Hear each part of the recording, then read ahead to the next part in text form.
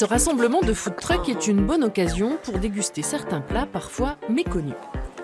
Désolée de la prononciation, c'est un boboon végétarien. Ah, c'est vachement C'est intéressant. C'est vraiment intéressant parce qu'il y a plein de cuisines de plein d'endroits différents et des choses qu'on n'a pas forcément l'habitude de manger, donc c'est vachement intéressant. Et puis le cadre est sympa, donc euh, non, non, c'est Parce que là, bien. c'est une grande découverte. Moi, je connaissais pas, donc euh, c'est Ouais, vraiment c'est la première découverte. fois. euh, C'est c'est pas mal. Ça recommence et ça refaire.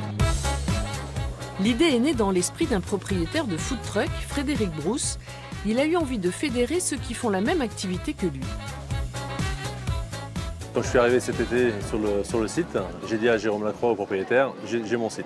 Je veux que ce soit l'endroit où, en fin de compte, on, euh, ben, on rassemble une série de food trucks pour faire découvrir aux gens le mieux, le mieux de la street food, mais en mieux food truck. L'intérêt est qu'il y en a pour tous les goûts. Je faisais un petit tour de tous euh, les, les producteurs ici. Il y a beaucoup de, de faits maison. euh, euh, donc euh, voilà, les, les gens peuvent manger rapidement et de qualité, ce qui peut être quelque chose de, de nouveau euh, sur, euh, sur le marché. C'est une bonne idée, ça fait vivre l'endroit. C'est parfait.